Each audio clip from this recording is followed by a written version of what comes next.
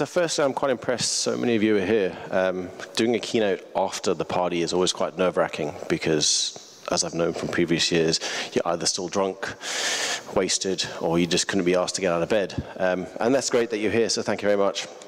Now, when I was asked to keynote BruCON, it was actually really, really cool because this is a conference I've wanted to do in a very long time. I just never had a chance. Um, I'm in the quite luxurious position of being able to fly around the world attending conferences, and I'm on a few review boards. But this is the one con that I could just never get into the schedule. So when I was asked, it was like, yeah, this is amazing. And then reality sets in, and then sweaty palms. And what's interesting about a keynote unlike normal research projects, is that, as Haroon alluded to yesterday, keynotes are very washy-wishy. Um, they're very opinionated.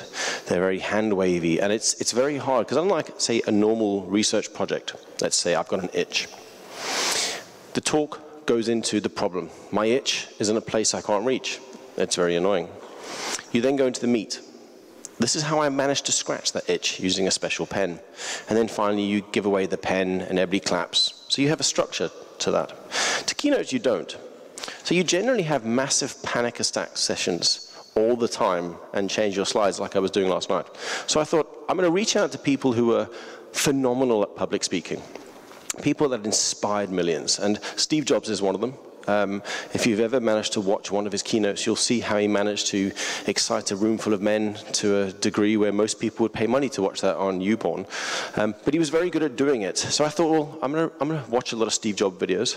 Um, and I also thought, let me look up the definition of what a keynote is. And a keynote is effectively a motivational speech at 10 a.m. on a Friday morning after drinking is a no mean feat. But it sets the tone for a conference. And I think I took this to heart. So what I did was I did a lot of background digging on the BruCON founders, speakers. I watched every single BruCON talk that was available in the archive, which is no mean feat because there's a lot of them. And it gave me good insight as to how this conference actually plays quite an important role in the global world of security research. Now, it's no different. We've got lots and lots of conferences on today pretty much every week there's a conference. Some are really bad, RSA. Um, some are really, really good, BruCON. And for me, it, it paths a journey of where people are going with their research. But for the first thing, since BruCON started, there have been 3.646 million beats. You're all looking at me like I'm mad. So I'm old enough to remember when we didn't really have a World Wide Web. Um, and in 1998, that crazy Swiss watch company came up with a phenomenal idea. So how many of you here have done conference calls across the world with different time zones? It's a pain in the ass, especially if you're blonde. So Swatch, before the World Wide Web was around, came up with this concept of a beat.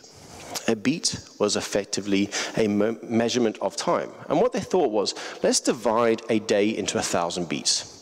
So each beat is equivalent to 1 minute 26.4 seconds. And you're probably thinking this is crazy.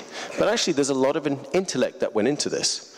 So rather than saying I've got a conference call with two people, Federico in New York, Johan in Belgium, and we're going to meet at my time, 11 a.m. London time. That means inevitably you go to Google and you start Googling, what time is this in my time? We've all done it, we still do it. What the beat managed to do was get rid of that. You can say, meet me at 300, because the day starts at 000. Like, this is a fascinating idea. You've got to have a cool watch as well, better than the Apple Watch that is out at the moment. And it probably lasts a lot longer than an Apple Watch, which is only meant to last a year. Um, and the cool thing is, was, this was actually incorporated as Biel Mean Time, BMT. And on the 23rd of October, this year will be its 20th anniversary. So I think it's high time we start using the beta game because it's a fascinating technology. But that brings me to the next thing.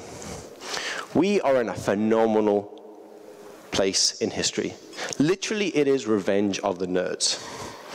So um, I grew up in the 70s, um, and in 1984 this movie came out. And prior to that, if you were a nerd, you were downtrodden, you were picked upon, you were abused, you were called names, because nerds were inferior. They were weak.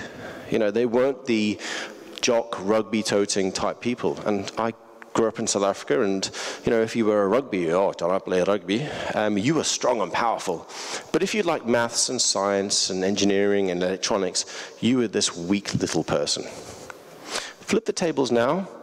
Those rugby players have got brain damage, and they're probably pissing in their pants and drooling, and we're effectively ruling the world.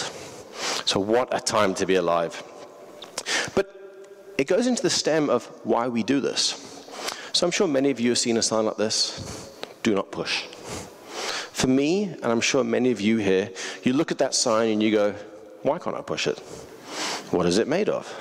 What's behind the button? Has anybody else pushed it? What happens if I push it with two fingers? What happens if I kick it? Can I take it off the wall? Will the world explode? For me, that's normal. For other people, they think, well, you're being told not to do it. And for me, that's the security industry. We don't generally look at stuff and go, that's okay. I know this can make phone calls. We look at it and go, actually, can I also turn it into a covert implant that we can put into a suspected terrorist house and listen to all their phone calls? For me, that's normal. We're all effectively really, really curious. But sometimes that curiosity gets us into a bit of trouble. Um, this is a ring doorbell. Has anybody got a ring doorbell? Phenomenal piece of equipment. Um, I got one because I do travel a hell of a lot. I live my life in airport lounges. And when the doorbell rings at home, I want to make sure that that's not some random person, my wife's being naughty, and I can get to see who's coming into my house. Call me, you know, GCHQ-like person. The wife was away, and I didn't have kids, and I had idle fingers. Now, I'm sure many of you can attest to this. Idle fingers for hackers are bad things. So I was bored, so I thought, I wonder what's in a ring doorbell. I do a lot of hardware exploitation, exploration. So I pulled it off the door and I put it on the kitchen table and I started to look at bits of the Ring doorbell. And it was fascinating. Like, wow, they built it this way. It's 200 pounds. You press the button, it records the image and video, and obviously pushes it through to the cloud. I wonder when they're storing the key. And the first thing I noticed was uh, all the chips were covered in black paint. Now, to a curious person, I'm wondering, why would you cover the chips in black paint? So I did what any normal person would do. My wife is a makeup artist. Um, I ran upstairs, went into her makeup kit, and found that the MAC makeup brushes are very good at removing black paint with her nail polish acetone. Here's a hint. But normal things. If you do bugger the brush up, please replace it before she gets home, because trust me. So there I am, looking at all the chips, pulling off the chips, writing them down, thinking, that's phenomenal, that's an 8-pin SOIC, I can do all that. And I get a signal message. I'll be home in half an hour. Shit. I'm left with lots of parts, acetone, dirty brushes, and a non-working doorbell that she really likes. So I put it all back together. Now, just like we've all done with IKEA furniture, there are meant to be spare screws. Don't worry about it, it's a design feature. Put on the door, press the doorbell, it works. I'm thinking, I'm out of this, we're good. Thought nothing of it, I thought I've got away from this. Minus the few scratch marks around the case where I couldn't get it open. Turns out I'd introduced a bug. Not a serious bug, but I'd introduced a bug. Every day at 1600 hours, the doorbell would go. That's not normally a problem, but I have two two-year-old boys, Los Diablos, and two dogs. And when the doorbell rings, they scream, the dogs bark, and they run around going, Daddy, Daddy, Daddy, Daddy. That's cute for the first day. On day eight, I had a very angry little woman going, I don't care what you've done, that doorbell's getting replaced. Q 300 pounds later, and lesson learnt, don't be that curious. Last year, um, Chris Wysopal, who is a good friend of mine, did an amazing talk. And his talk was about how hackers changed the security industry. Now, I'm going to make you all stand up because I want to get an idea of how long everybody has been in the industry. So I really do apologize, but if everybody can stand.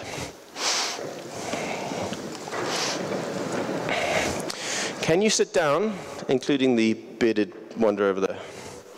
Can you sit down if you've been in this industry for more than 20 years? Can you sit down if you've been in the industry for more than 10 years? Can you sit down if you've been in the industry for more than five years?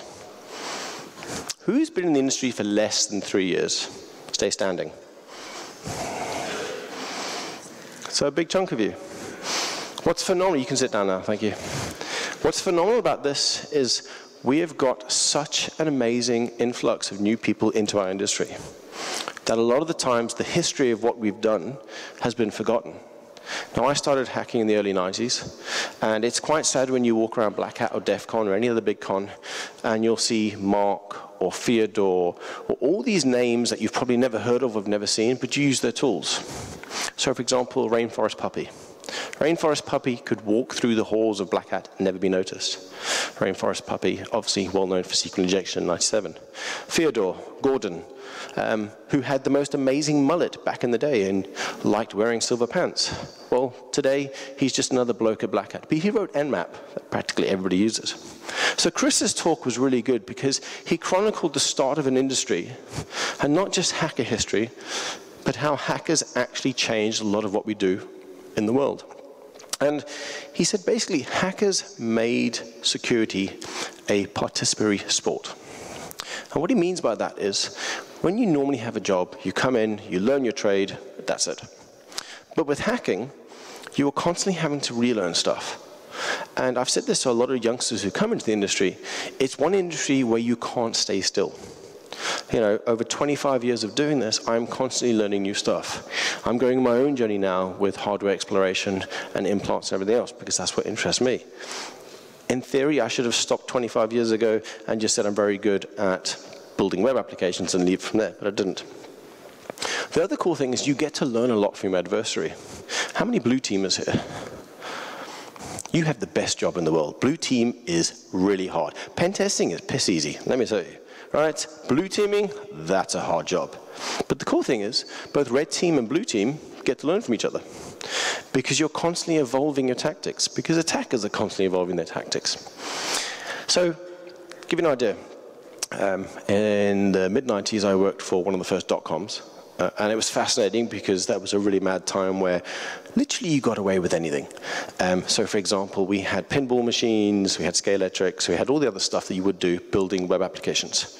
And it was easy back then with security because there was only a couple of hardware, hardware and software vendors.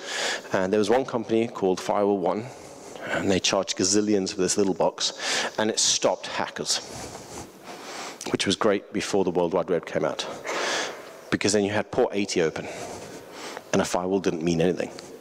But effectively, it was being sold as we can do this.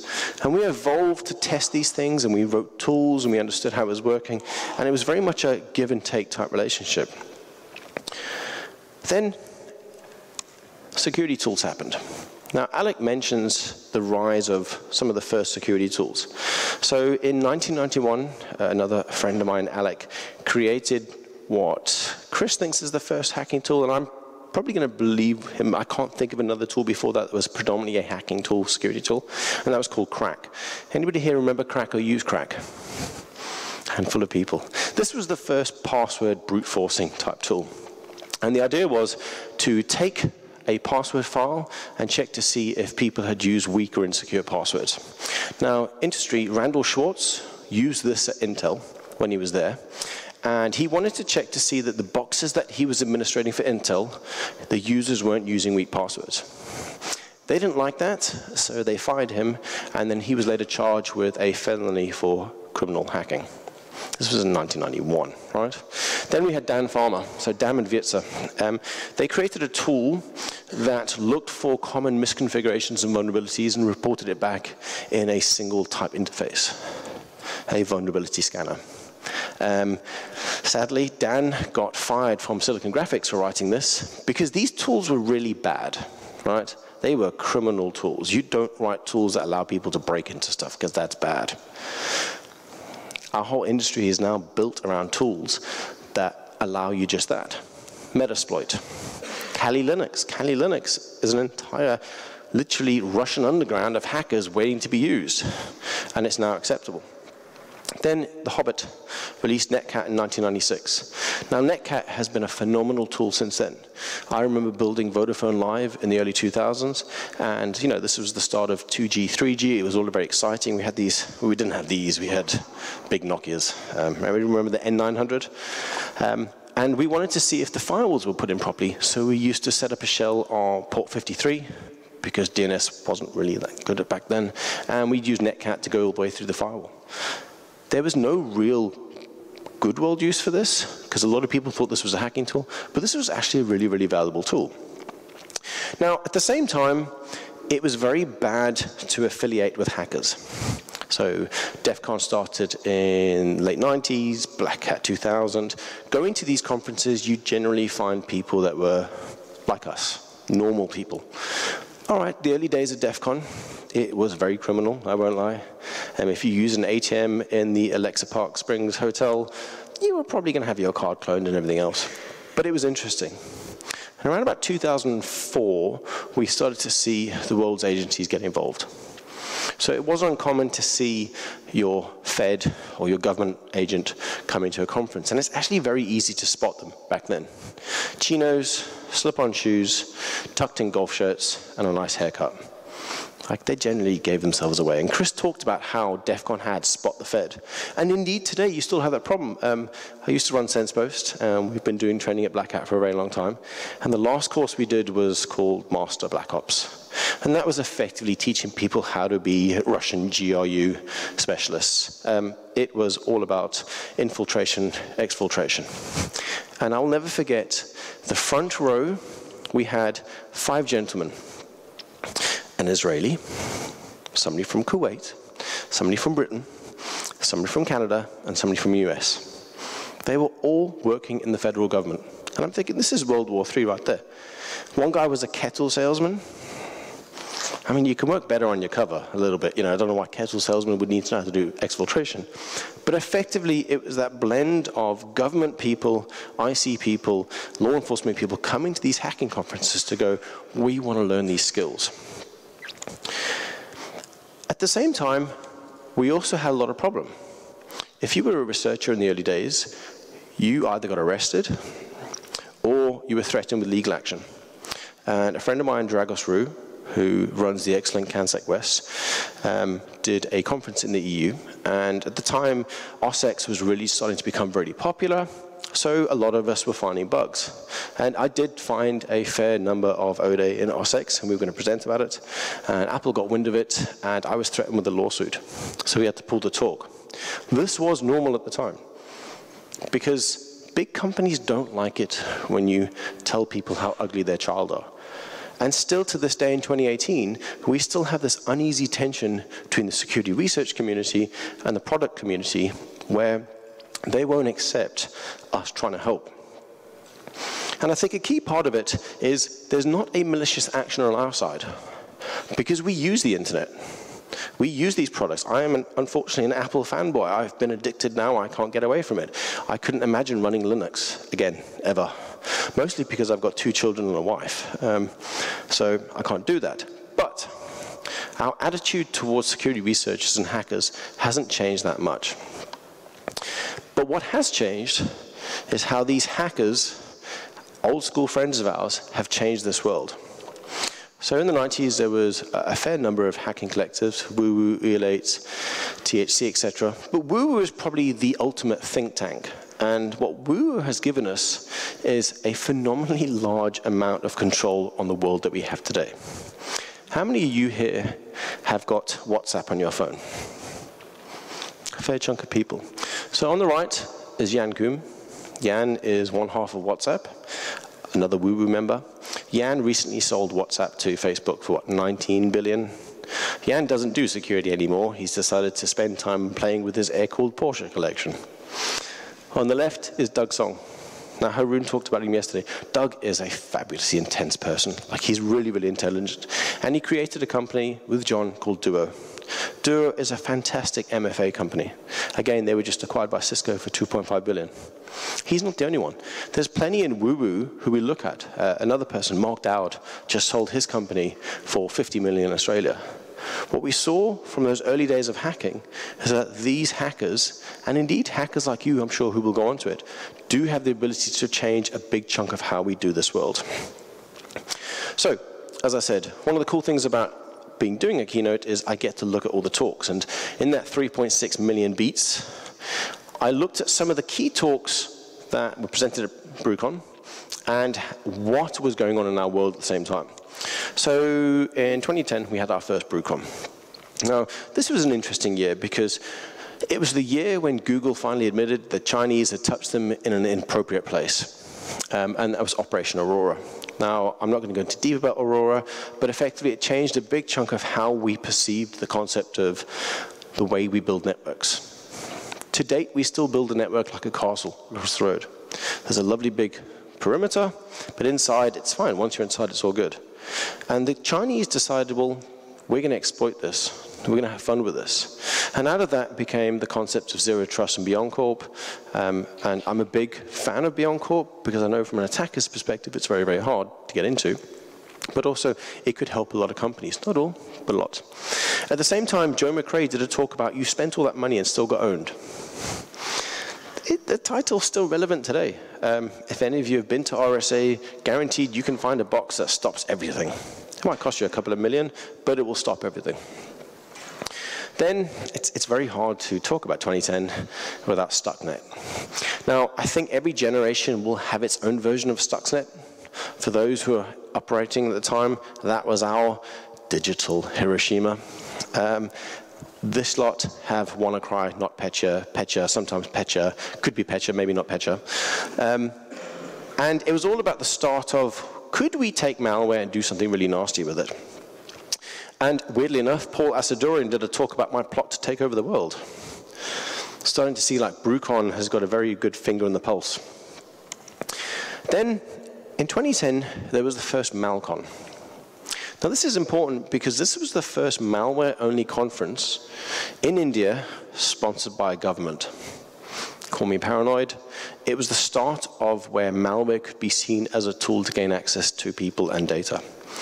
Um, at the same time at Brucon, Tyler Shields at Veracode did an amazing talk about the monkey steals the berries. Now, this was fascinating because he finally did research into the state of commercial mobile spyware. So a couple of years ago, uh, a colleague of mine, Vlad and I, did a talk at um, um, Paranoia conference in Norway, and it was all about us doing six months research into the global ugly world of surveillance where it's no longer the realm of governments, but anybody can buy surveillance grade software, such as Hacking Team or NSO Group. Well, Tyler was doing this in 2010, so eight years ago. Then, 2011, the internet mosquitoes known as LulzSec um, came about.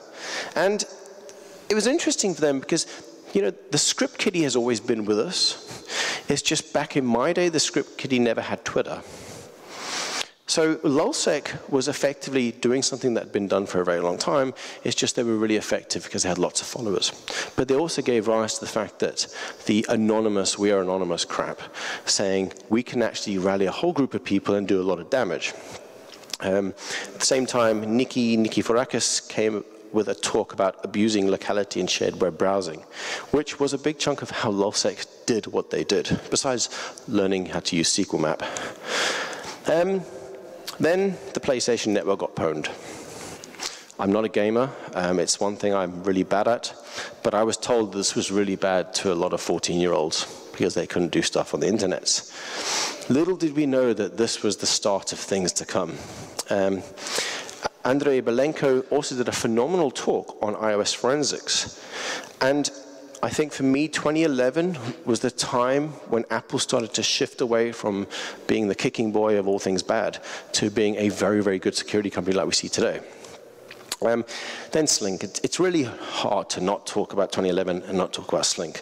Because Slink decided he was going to own every single damn thing on the internet. Uh, and he pretty much did. Um, some of his targets were there were DoD, Pentagon, NASA, US military, Navy, Space and Naval Warfare System Command, UK government, US government. I mean, balls on that kid were phenomenal. Um, we're going to own everything that we did back in the 90s.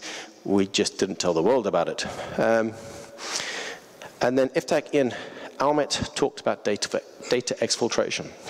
Now, prior to that, when you popped a network, you generally popped a network and you thought, right, that's, I'm done, I've got a shell.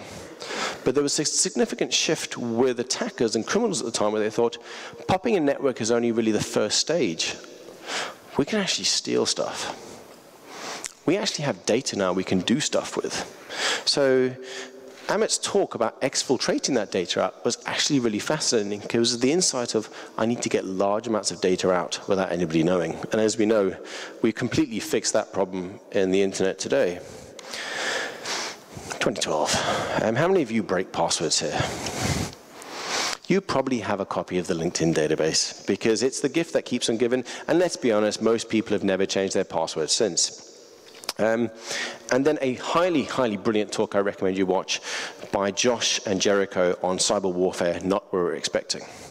And this talk delved about how, up to that day, we've been very cautious and careless at the same time in using the term cyber warfare, and way too many Sun Tzu quotes. Then we started to see the ugliness. So the Saudi Aramco oil company was hit by an ugly piece of malware called Shamoon. Very similar to Stuxnet. It's a nasty piece of malware. It didn't just do good things, it did a lot of ugly things. I'll read it if you can. Um, and then Mathy Vanhoef. Matt, is Mathy here? This man has made wireless annoying and amazing at the same time because he constantly every year comes up with stuff when you think, damn, Mathy, like, what do you do at home? How are you breaking this stuff? This is where we got introduced to the genius that is Mathy, and he found new flaws in WPA TKIP. And then finally Slink, you know, he wasn't finished. He'd owned most of the government organizations. He thought, you know what, I'm going to go after industrial control systems. Because hackers in a power grid, like what's the worst that could happen? At the same time, Ed Skoudis did a great talk on unleashing the dogs of cyber war. So we're now starting to get an idea of like, where was the research world going? What were we starting to expect from a warfare perspective? 2013, and you know, after exfiltrating and learning how to exfiltrate, attackers decided we can make some cash out of this, and target was pwned. Uh, massive credit card breach, lots of people losing a lot of money, um, and Didier, who is an absolute legend in my mind, came up with a workshop on advanced Excel hacking. Now, if anybody of you, how many of you have been on Didier's workshops? Like, he is phenomenal. I will attend one of his workshops one day. What Didier has done to make the world realize that office documents are utterly crap at anything but writing love letters has been well regarded. So thank you, Didier, for that. It's huge.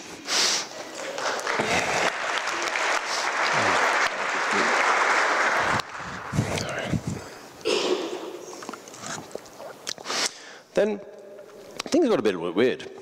And the New York Times was pwned. Now, that's not unusual. I mean, newspapers get pwned a lot, right? Well, not in this case. New York Times wrote an article that fingered China and said, well, China weren't being very good, and there was a lot of questionable trades and stuff happening out of China. Chinese government turned around and said, well, that's groundless, you know, that's a load of rubbish. And then a week later, New York Times was pwned. Um, nothing new there. We're not saying that the Chinese did it. But interestingly, New York Times got really angry and pointed the blame at an antivirus vendor called Symantec because Symantec didn't protect them enough. I mean, shock horror, an antivirus agent was easily bypassed. I mean, is there nothing sacred on the internet anymore? At the same time, Rob Graham, who errata Rob, and if you don't follow him on Twitter, he is phenomenal at ranting, but also great insight as to what's happening in the world. He did a great talk on data plane network. And for me, this is probably one of my standout talks of all times at Brucon, because he talks about the lessons that other industries have had when it comes to learning their mistakes. So for example, with 9-11 and the building falling down, engineers realize what should be rectified afterwards. And as a relatively young industry, we still haven't learned that mistake or learned that lesson. Then 2014, now this is where it really starts to get interesting because um, Sony got pwned. Um, and, we now know why Sony got pwned because the indictments were a week and a half ago. Seems that jolly fat fellow in North Korea is very good at building a hacking team. Um, and you know, Joe Grand also did an amazing talk about using superpowers for hardware reversing. 2014 for me was the year of the hardware attacks at Brucon. Mt. Gox became bankrupt. How many of you are crypto billionaires? Well, were crypto billionaires. Sorry, tough sore subject, I know. Um, it was an absolute shock to me that these crypto exchanges were broken into and people stole funds. Um, and I did a keynote this year um, in Dubai, and I got one figure where so far, since the crypto exchanges have come to life, $15 billion has been stolen from them because there was no regulation or compliance. And I never thought in 2018 I would be calling for regulation and compliance. So obviously something's happened. At the same time, Snare did a phenomenal talk, and I think it's probably one of the last talks I can think of where we see Snare talking about hardware stuff. I urge you, go and watch the talk. He's colorful, there's great language, like he's just brilliant. And he talked about thunderbolts and lightning, and how you could create covert channels in everyday pieces of hardware. Have you heard that story before? Then 2015, and OPM got pwned. Um, OPM is the Office of Personnel Management. Basically, if you're in the US and you want to do your clearance, at some point your world is going to go through them. Now, my personal OPM story was I was on a military base in West Virginia when that happened with a large group of special forces and other people. And I saw the absolute fear going to the minds and eyes of people who will kill you with a spoon because they thought, shit, there is a lot of stuff I put on that file and the Chinese now have it. Um, and then another one, Mark Hillick's amazing leveling up security. Like it is literally one of those talks I urge you to watch because it gives an insight as to other things you should be doing when it comes to security. Something I wish OPM had learned about. At the same time, Ashley Madison was popped. Now, I'm going to be honest here, I had no idea what Ashley Madison was. Mostly because I didn't need to go to a website to have an affair. I've got a lovely wife at home. But it turns out two and a half thousand people did obviously we got hold of the database whilst we are in this military base and we thought, let's look to see if anybody's using their classified email addresses. DoD.gov, DoD.mil, FBI.x. Works out that quite a few agents and military personnel use their personal email addresses for this site. Now you're probably thinking that's absolutely stupid, but from an OPSEC perspective, it's actually genius. Because this is a website that allows you to have an extramarital affair. So therefore, you're not going to be using your Gmail because your wife won't be allowed to check your government-issued email address. At least they thought until it was breached. Then things got very weird. Unit 8200, which is the Israeli you know, version of NSA, decided to attack Russia. Well, actually, Kaspersky, which is sort of Russia, but not really Russia. And they did so because Kaspersky were quite annoying in reporting about a lot of campaigns that the Israelis were doing. And Kaspersky was attacked by a variant of Duqu. So they joined the dots together. And it was very much icy handbags at dawn, but it was good for us bystanders to watch, you know, mummy and daddy fighting about stuff that we didn't really have an idea. Um, at the same time, William and Jonathan talked about the real Shim Shady. Shim Shady, yeah, sorry.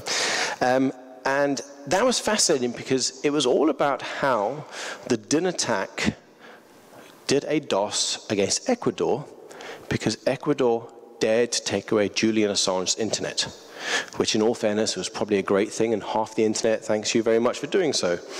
But it was about how crowd-sourced hacking has become quite a big thing. Then, the year that changed everything for me the Bangladeshi bank got pwned.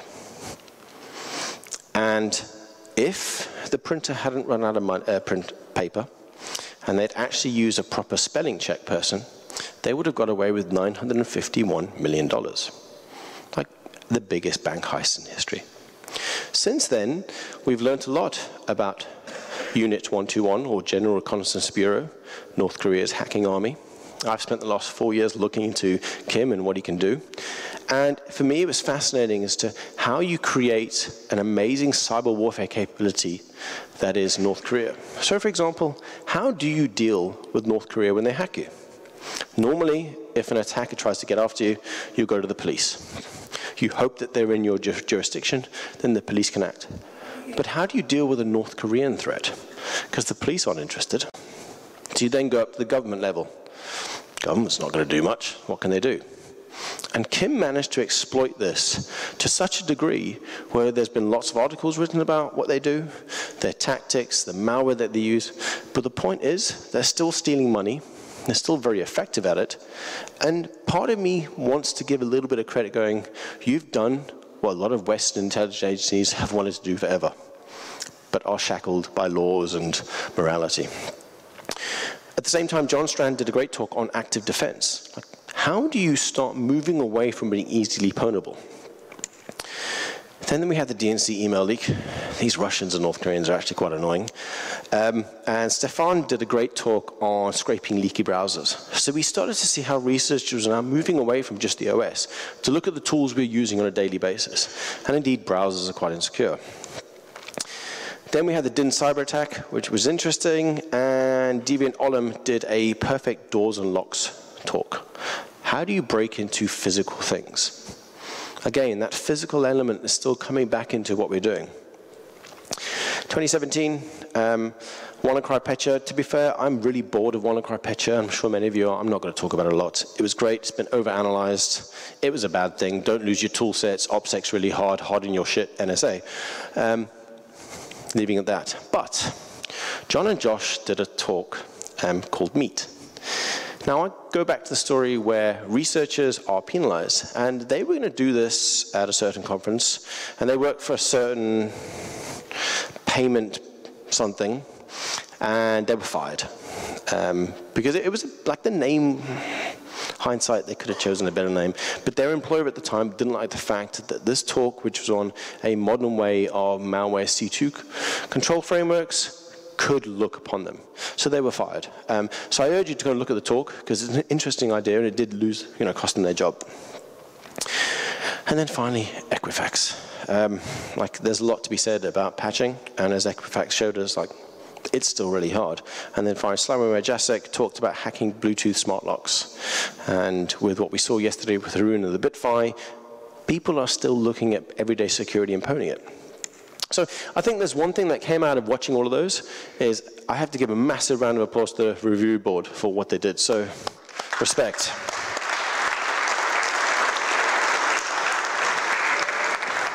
I can honestly say, being on a review board, it is very, very hard to look at submissions. It takes a lot of time. You do a lot of research, and you want to make sure that the best person comes through. So, massive job. But I think there's something we can come into here. We truly do live in fascinating times. And yesterday, what happened made me rewrite a big chunk of my slides. First up, we had the NCSC, which is the cute, cuddly arm of GCHQ, sent out a tweet saying we have identified that a number of cyber actors widely known to have been conducting attacks around the world are, in fact, the Russian GRU. Cue absolute paranoia and shock. Vladimir Putin has been really bad. Um, but this was quite a fascinating story because it's the first time ever Western intelligence agencies are now coming up and saying Russia's been really bad. And ironic because GCHQ aren't really that nice. I mean, I'm in a country where they took control of a certain mobile phone operator to do nasty covert stuff. But turns out these Russian spies from Unit 26165 drove around Europe taking selfies, um, and they used really elite hacking tools, as the Dutch found out. Um, this was found on them. Um, the amazing thing here is we often think that spies have got access to amazing kit. No, no, no, no. That's, that's a Wi-Fi pineapple up there. Now, I guess if I go into the mind of a spy, what they did was, okay, guys, we're going to go and uh, hack some stuff in Switzerland. Uh, we need to learn how to hack. Vladislav, go and have a look at the page. So they went to Darren's page and they thought, I need to learn how to do hacking on Wi-Fi Pineapple. Darren and Shannon effectively were drafted into the Russian intelligence agency to teach them how to hack. Because, I mean, why else would you use a Wi-Fi? But at the same time, you almost think like they messed up because they had taxi receipts from the GRU to Moscow airport. They were doing selfies at the Olympic Village. They were doing really bad stuff. I mean, if only there was a guy out there who could teach them how to do OPSEC, and the grugq is going to kill me for this, for using that picture. Um, he's tried to get it removed from the internet, but lots of love grugq.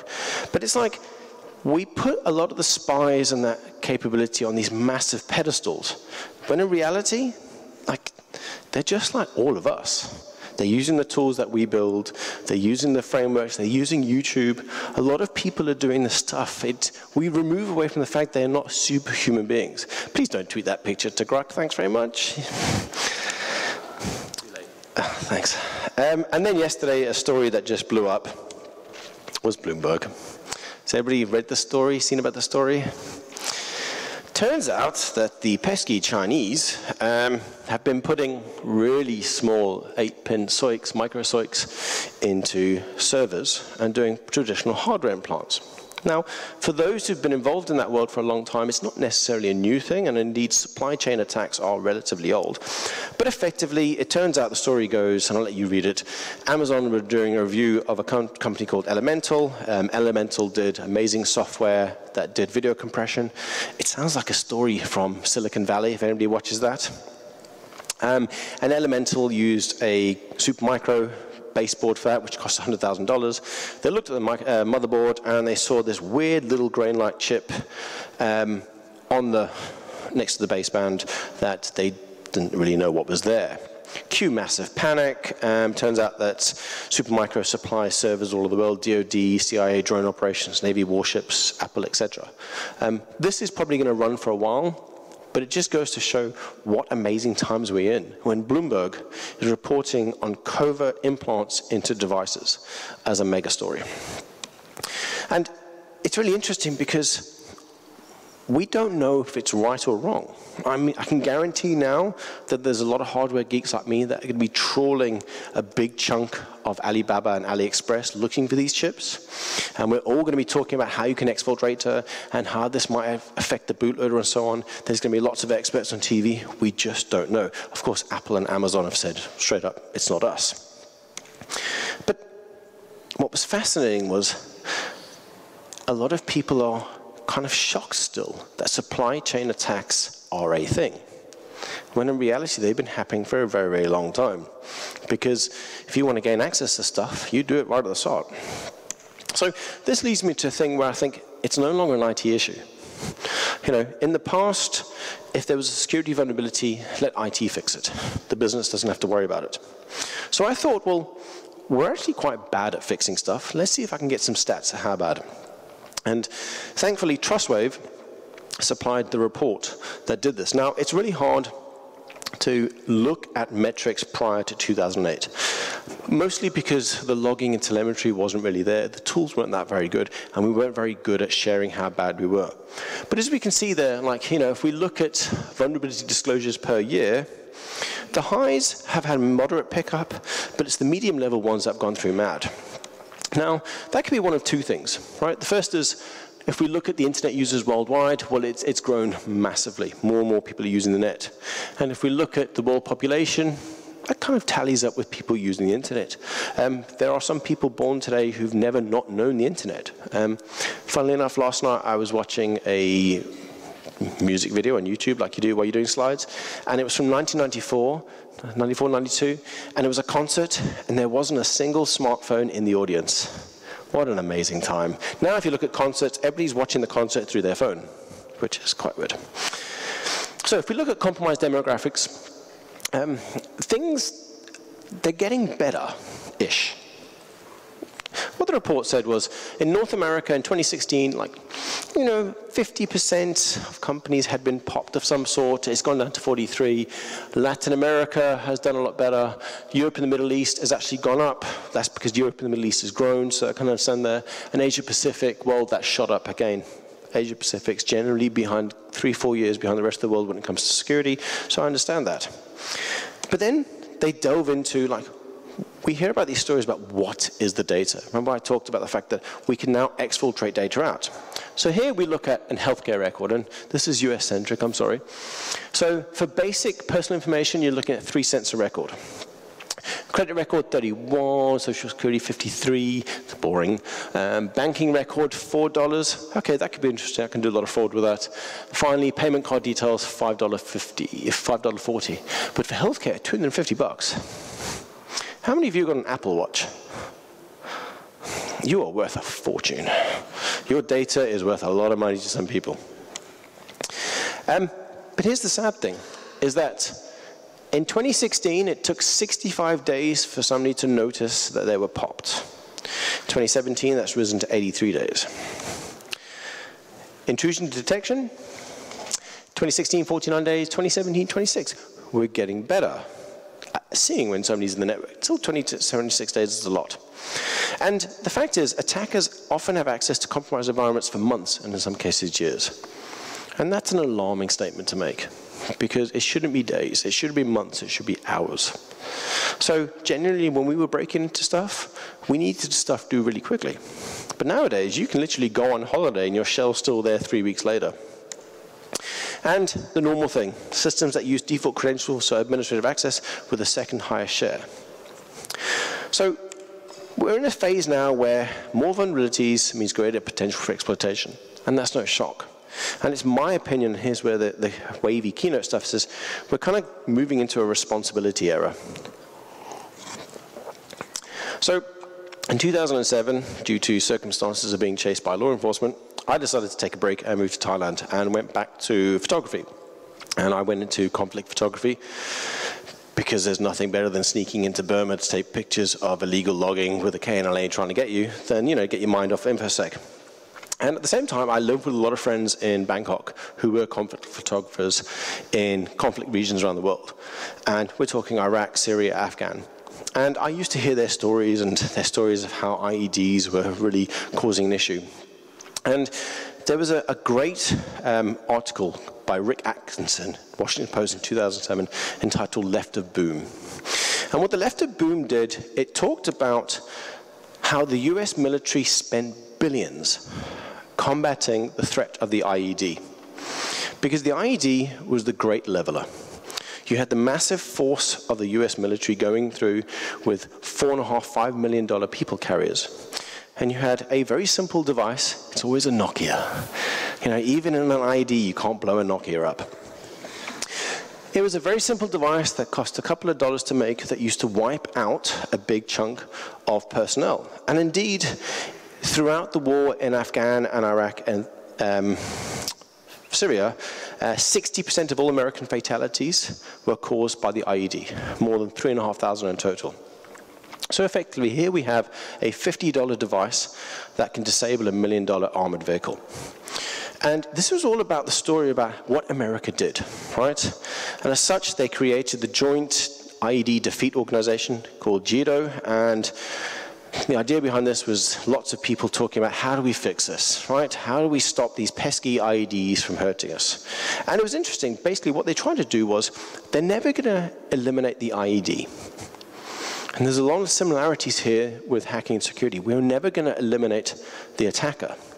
But what they did was try and make it as expensive as possible for those laying the IED so they were less laid. And at the same time, they got better with improved detection, disablement, and protection against the bombs. And for me, that's always stuck. Listening to the stories that these reporters had was, we're still in our left of boom phase. Because we still think that spending billions on boxes that protect people from O-Day are going to fix stuff, when in reality, and it's coming up with a lot of people as well. So Alex Stamos tweeted a while back, as we are entering an unprecedented era of anti-tech sentiment, it's going to be important for the civil liberties and privacy activist communities to guard against being played by those who want more government speech control and data access. We're the gatekeepers of a lot of systems. We need to start making sure they're a lot more secure. Give you an idea, in June 7th, 2013, Ed told us about the NSA PRISMS collection. And the 0.001% of the world thought, this is wrong, this is really bad, they shouldn't be doing this. There was lots of uproar, lots of hand wringing. Not much happened. Last year, Dylan Curran on Twitter said, want to freak yourself out? I'm going to show you how much of your information the likes of Facebook and Google store without you realizing it. We're not learning our lessons. We're not worried about the intelligence agencies anymore. We're worried about the likes of Google and Facebook collecting vast amounts of data. So I guess we're coming into a back to the basics part, right? We need to literally reboot. And last year at Black Hat Asia, Halvar Flake did a phenomenal talk, and I really urge you to go and watch this. Halvar doesn't need any introduction. Uh, he's probably one of the most smartest people in the world. But he talked about how we failed to build a dependable, defendable internet. And one of the things he talked about, and it's quite apt with yesterday's announcement, is the ability to have a global distributed ledger of known good firmware for hardware. So we could tell if firmware or hardware has been tampered with. But he also talked about some of the problems that CISOs have today. So for example, CISO in a company goes in and says, right, we're going to create the company a amazing security posture. This is what we do. So he sits with her or his team and says, right, what do we need to make sure the organization is secure? And they come together with these security requirements. Then that goes through to the enterprise, and the enterprise goes through to vendors and says, hey, software vendors, we need this, this, and this. The reality is that doesn't really happen. What you do have is a group of people who go to RSA, who get bamboozled by vendors who promise the world, who install really expensive stuff into a network, and you're still left with the same problem we've got before. Halvar also then talks about the fact that we as a market don't have much choice in what's out there. So for example, if you wanted to buy an Intel chip that doesn't have the management con console on, does anybody try to do that? No. Intel tells you that is what you're selling. Hard disk manufacturers, there's three in the world. We're kind of at the wits of what the hardware and the software world tells us we can buy. And Halvar's main argument is we need to rethink that. We need to club together and say, hey, actually, Intel, we don't want your backdoor in our chips fix it, otherwise we're not going to buy any more chips. But we don't. It's a really great talk, and it starts touching upon ideas that I think a lot of us could learn from. But then he also does amazing talks on Twitter, and if you don't follow him, recommend him.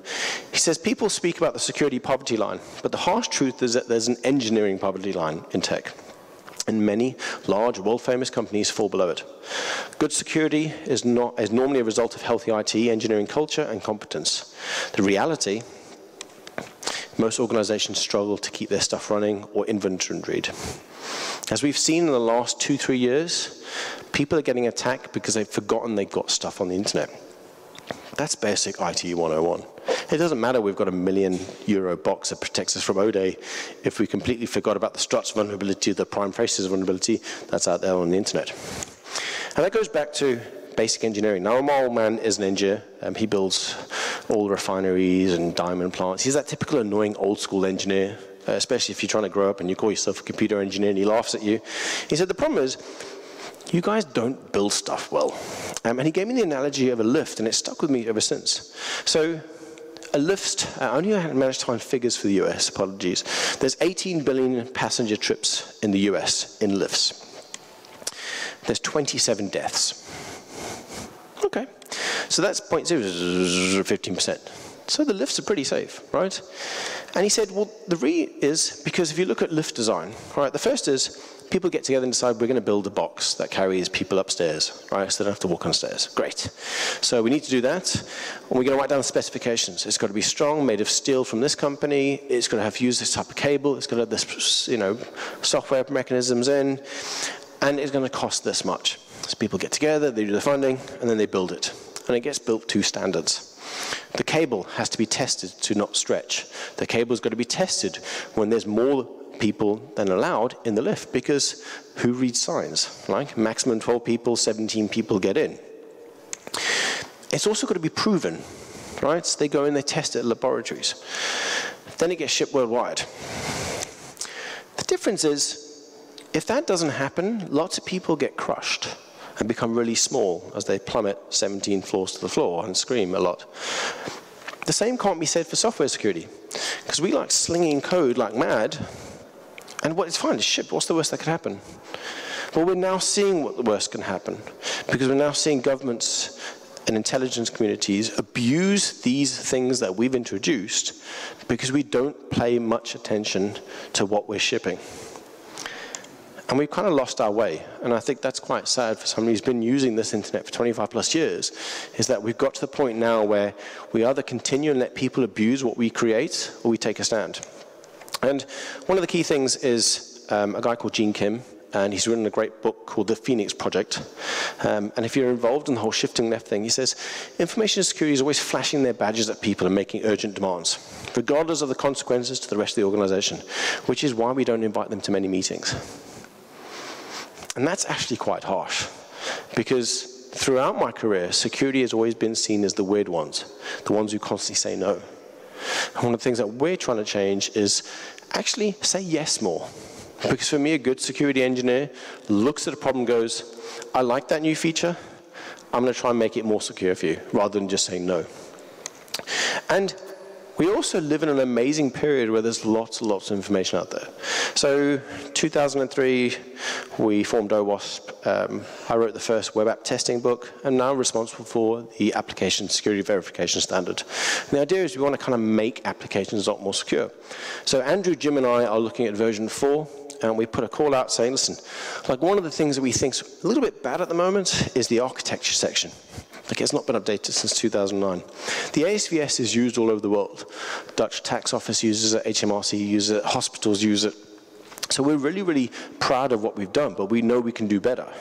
And one of the things that came up on Twitter the other day was, we need to start referencing other groups' work out there, which is something we don't do very well in security. So for example, the IEEE have got principles on secure design, and we definitely need to incorporate that. And I guess, for me, that's kind of my final thought. Security needs to be more of an enabler. And there's a lot of new faces in the industry here at the moment. There's a lot of old faces in the industry. But effectively, it's now up to us to try and use what we learn at BruCON, use what we learn on a daily basis, to try and not allow mediocrity come into stuff that millions of people use. Because as we've seen, if the Chinese can put small 8-pin SOICs into a hardware box and cause Bloomberg to go absolutely ape, we've got the ability to stop people from doing that. So thank you very much.